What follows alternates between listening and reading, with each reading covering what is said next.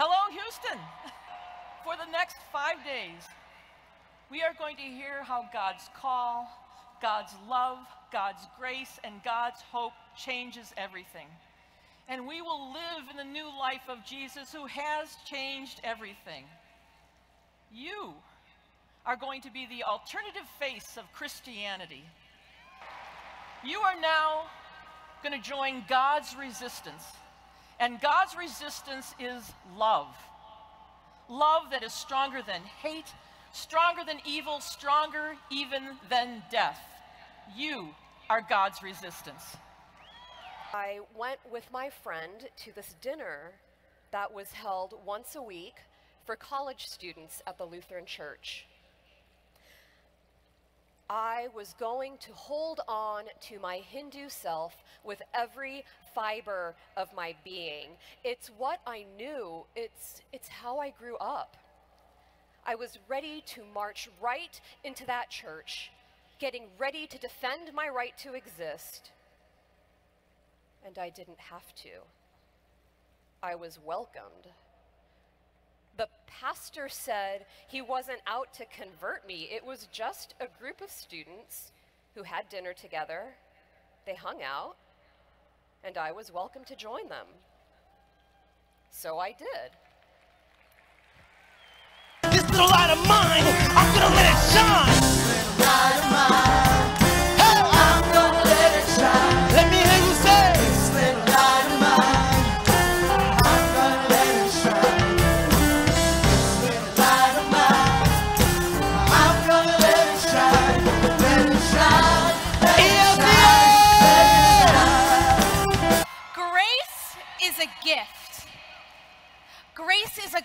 Given gift. Like our gathering scripture says, for it is by grace you have been saved through faith. For it is by grace. Which makes me wonder is God's grace for everyone or just a select few? Is it the stranger on the street, the immigrant in your school, that person across the political aisle? As a church, I think we've always struggled with this. We've struggled with people who continuously push our boundaries and our ideas of grace. And the Bible is full of stories that don't just push us, but shatters our ideas of grace. I think we all know that the world and its people need us. It needs us to be courageous to walk alongside people in those difficult moments. And it needs us to have fierce commitment to walk alongside people, especially when the things of this life crush their very souls and humanity. But perhaps what they don't need us to do is fix their problems or even try to save their worlds. What people need us to do is love. Love those who look and sound and believe different things than us. Love people who serve causes that we may not understand. We love people so that we, they might know that their lives are a gift, that their lives matter, and that they are never alone. God doesn't give us hardships. He doesn't decide the time or place something unfortunate will happen. Instead, God promises to be there. God promises to put the right people in our lives.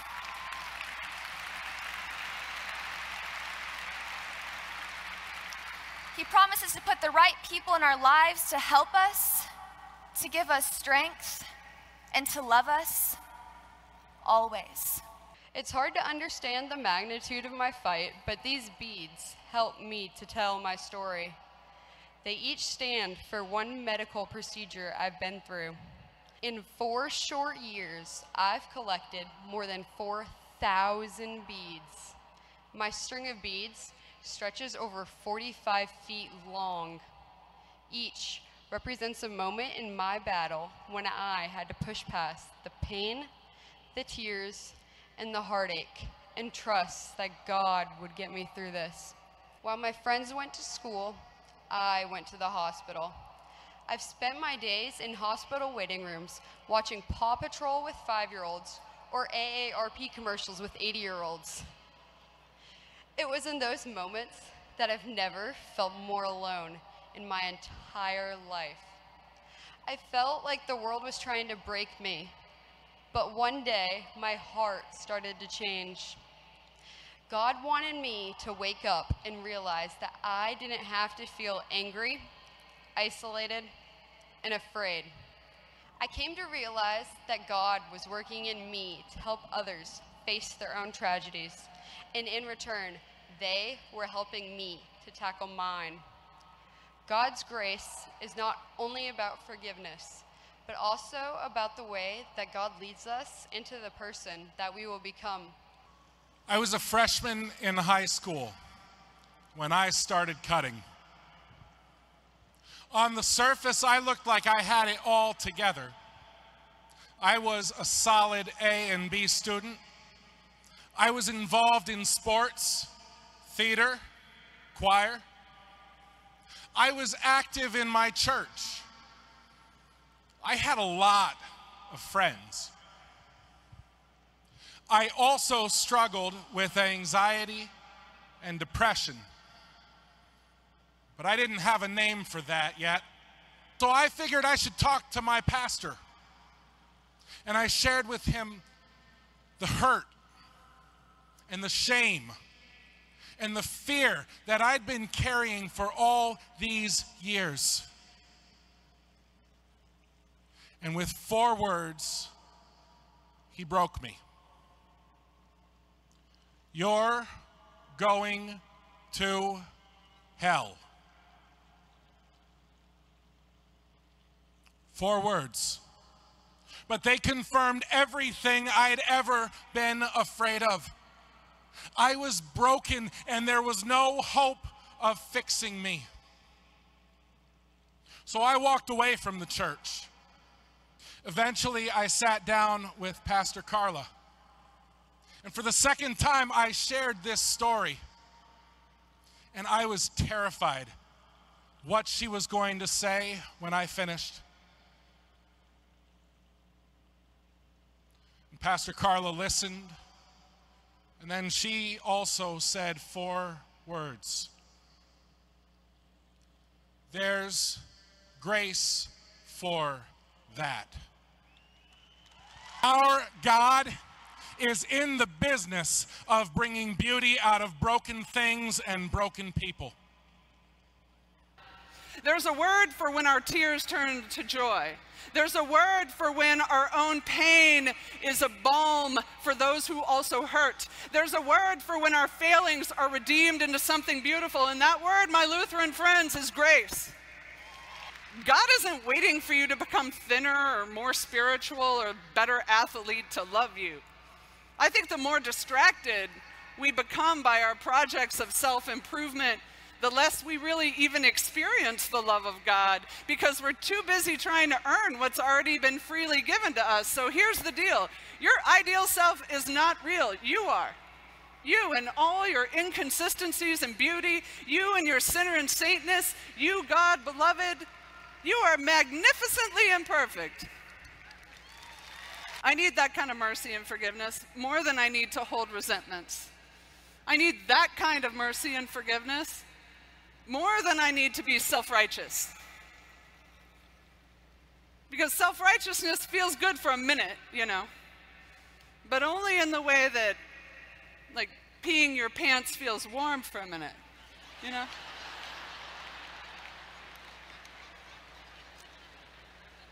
And then it goes cold and It doesn't smell good. You understand, grace is why we have Christian community. You know that, right? Because we help each other shut the voices up. We tend each other's wounds. We show each other our scars. We see and forgive each other's shortcomings. We let each other cry. We make each other laugh and are absolutely adamant about grace for everyone. We insist on freeing each other from the chains of the accusing voice. And we totally have a secret weapon to break those chains because Jesus of Nazareth was a chain breaking man. My daughter went viral.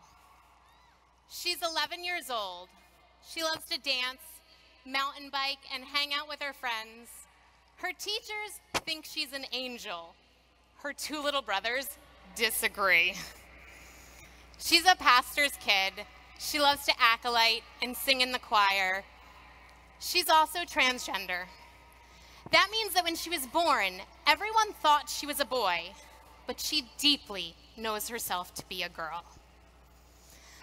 On the 10th anniversary of her baptism, we gathered with friends, family, godparents, and our church community to celebrate her as a called and claimed child of God, blessing her and her forever name, Rebecca Eleanor.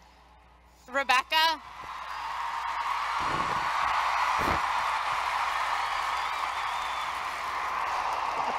Being transgender just means being myself. It means being who God made me to be. Why? Why did I have to go through all of this when none of my friends did? Did God mess up?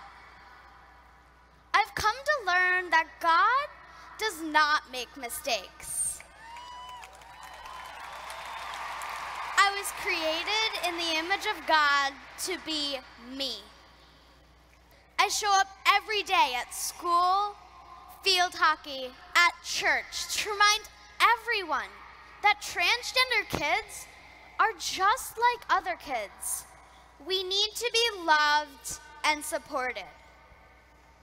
I've learned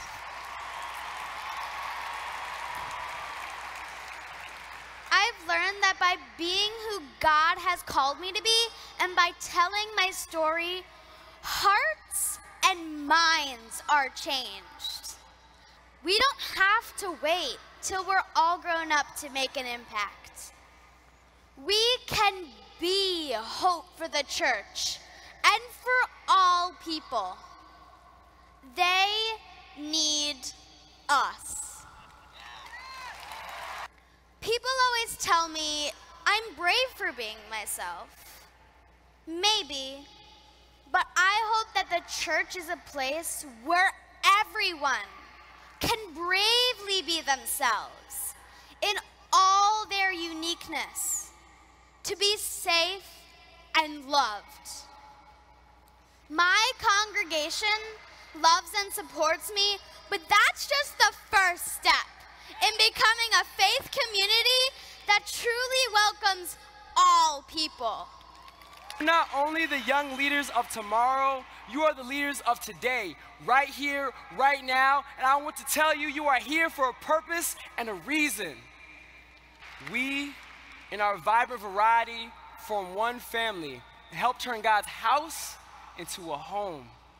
When we take that hospitality home, everywhere we go with the word of welcome, not just on Sunday morning, but 24 7. In our schools, saying you have a purpose. In our jails, saying you have a purpose. In our streets, saying you have a purpose. Then we are no longer only in a church building, but we are building church. If you hear nothing else, hear me say, you were born to make an indelible mark on the world that no one can erase. And if you don't make that mark, that mark won't be made. Here is the wonderful news why we can still sing hallelujah when it looks impossible. When you've gone from your place and maybe you're the only three or four Lutherans in your high school, remember this. But remember most of all, Jesus has changed everything.